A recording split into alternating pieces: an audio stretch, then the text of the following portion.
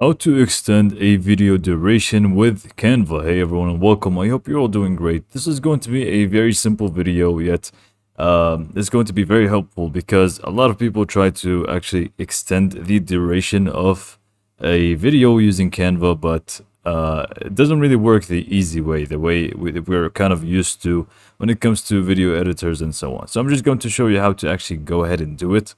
Um, and yeah, let's just get to it. So first we will need to obviously go to uh, Canva and create a blank uh, video page here, or design I should say. Uh, and here you can just go ahead and use a video, any video really. So I'm just going to go ahead and uh, look for nature. Uh, and I'm just going to be using any of those videos that are available within Canva. I'm just going to be using this one as an example.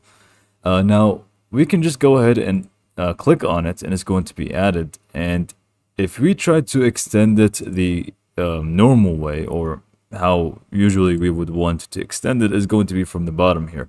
Uh, and you try to actually go ahead and extend it and it does not go above the duration of the actual video. So this video is pretty much, um, or it's about 27 seconds.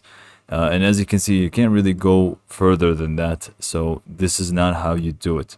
Instead, if you actually want to increase the um, duration of the video, even though it's going to be looping, obviously, um, we would want to just delete this. We don't really need that. Uh, and what we need to do is once it's actually blank, we can either create a new one or just use this previous one before we add a video.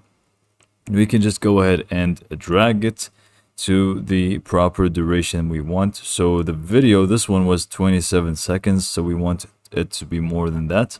So let's just go ahead and drag it to be, uh, let's say one minute. Just so we can like really see if it's going to work or not. So now this duration is one minute. And remember this video is 27 seconds. So now just go ahead and again drag it to this space here. And now instead of it being 27 seconds, it's actually one minute long.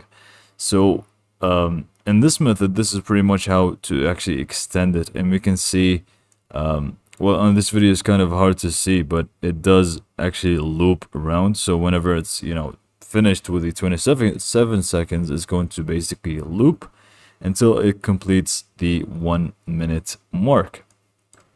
Uh, this is pretty much how to actually go ahead and, and extend it. So hopefully you found this video to be helpful. If you want to add another video and extend it, just click on add page, increase it to the time that you prefer or like, and just go ahead and drag and drop the video down here and it should work uh, right away. With that being said, hopefully you found this video to be helpful and thanks for watching.